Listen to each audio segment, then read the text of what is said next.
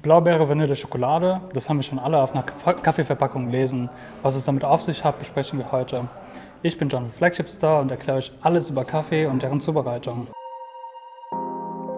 Das Geschmacksprofil des Kaffees ist sehr komplex, weil viele Faktoren den Geschmack beeinflussen können, wie beispielsweise das Anbaugebiet, die Anbauhöhe, die Varietät und natürlich das, was der Röster aus dem Kaffee macht. Der Röstmeister wird dann quasi am Ende entscheiden, was auf der Verpackung steht, nachdem er den Kaffee geröstet hat, geschmeckt hat und bewertet hat. Daher steht quasi das drauf, was auf der Verpackung draufsteht.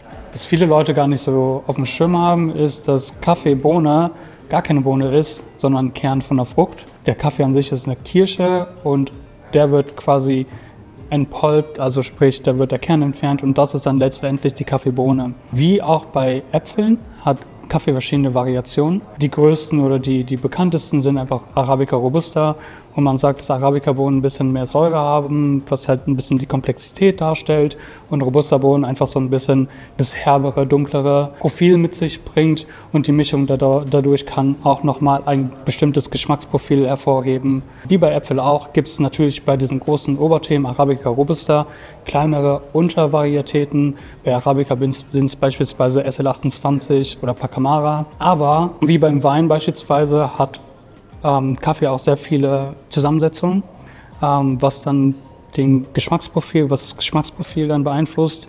Bei Wein ist, bei, ist es ca. 400 verschiedene Zusammensetzungen, bei Kaffee ist es doppelt so viel. Deswegen findet ihr wahrscheinlich sehr viele Geschmacksprofile, die ihr kennt, auf einer Kaffeeverpackung wieder. Der zweite Faktor von der Zusammensetzung vom Kaffee ist natürlich auch die Aufbereitung. Die zwei gängigsten Aufbereitungsarten wären einmal gewaschene Kaffees und einmal natural aufbereitete Kaffees. Gewaschene Kaffees werden nach der Ernte entpulpt, sprich der Kern wird herausgenommen. Dann wird das Ganze noch kurz fermentiert, damit die Außenschale auch abgebaut wird. Dann werden die Kaffeebohnen gewaschen und dann getrocknet. Ähm, das führt dazu, dass der Kaffee viel cleaner ist. Man hat sehr florale Noten ähm, gepaart mit fruchtigen Noten. Mit clean meine ich natürlich, dass der Kaffee so ein bisschen teeartiger ist. Ähm, früher hat man das wahrscheinlich so ein bisschen wie Blümchenkaffee genannt, falls das für euch ein Begriff ist. So hat man das halt früher genannt, weil wenn man dann Kaffee getrunken hat, dass man dann in der Tasse unten das Blumenmuster gesehen hat. Im Vergleich dazu sind Natural Kaffees ein bisschen dichter im, im Körper, dadurch, dass die Natural Kaffees direkt nach der Ernte getrocknet werden. So kommt die ganze äh, Süße von der Frucht in den Kern rein. Dann werden die entkernt und dann werden die erst geröstet. Die fruchtige Note wird ein bisschen hervorgehoben und der Kaffee ist allgemein einfach deutlich süßer als wie beim gewaschenen Kaffee.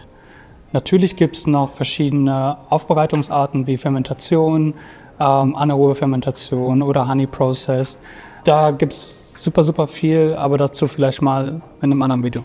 Ein weiterer Faktor, was den Kaffeegeschmack beeinflusst, ist das Rösten. Hier entscheiden die RösterInnen durch den Röstgrad, welche Aromen im Kaffee verbleiben. Hier muss man beachten, dass hellere geröstete Kaffees mehr Säure haben und dementsprechend mehr fruchtige Noten betonen. Und umso dunkler der Kaffee wird, desto mehr fruchtiger Rum verliert man. Man gewinnt dadurch ein bisschen mehr Röstaromen, was dann dazu führt, dass der Kaffee ein bisschen schokoladiger und nussiger wird.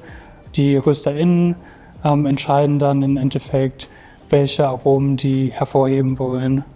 Falls der Kaffee nicht so schmeckt, wie der Röster es angedacht hat, aber es dir schmeckt, dann hast du alles richtig gemacht. Ich würde mir da jetzt nicht so viel Gedanken drum machen. Ich hoffe, das Video hat euch geholfen, ein bisschen mit dem Thema Geschmacksprofilen zurechtzukommen. Falls nicht, schreibt es gerne einfach unten in die Kommentare.